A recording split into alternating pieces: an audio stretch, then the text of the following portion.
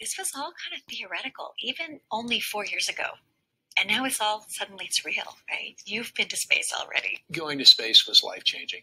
It really was. And as much as I told myself I shouldn't have expectations uh, going into it, I, I, really did.